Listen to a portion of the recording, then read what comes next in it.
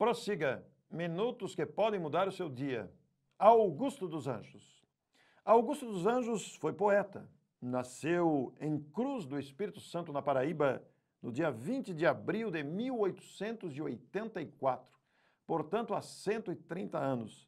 E faleceu no dia 12 de novembro de 1914, portanto há 100 anos, na cidade de Leopoldina, Minas Gerais.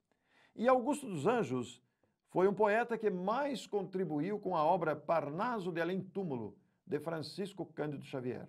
Nesta obra que exaltou, que colocou Chico em evidência, este poeta comparece como o poeta que mais colaborou com os versos sábios nesta obra. Ele que foi um poeta um tanto pessimista, um tanto descrente com a vida imortal, após a desencarnação vem exatamente exaltar a imortalidade da alma.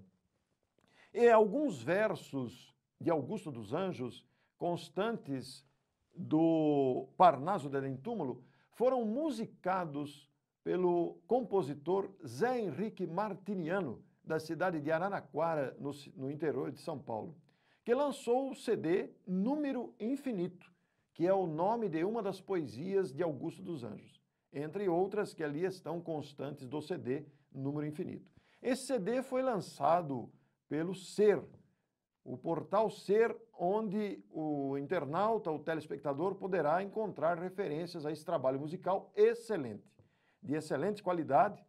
Esse trabalho musical, lançado em CD, exalta as poesias psicografadas por Chico Xavier, exaltando a imortalidade e os ensinos da doutrina espírita. Basta acessar portalser.org para deparar-se e pesquisar na internet sobre a existência desse CD que queremos indicar com muito realce ao nosso telespectador. Prossiga, são minutos que podem mudar o seu dia. Escreva para o Prossiga, prossiga arroba tvmundomaior.com.br e estejamos juntos neste aprendizado constante trazido pelas experiências da vida e pelo conhecimento da doutrina espírita.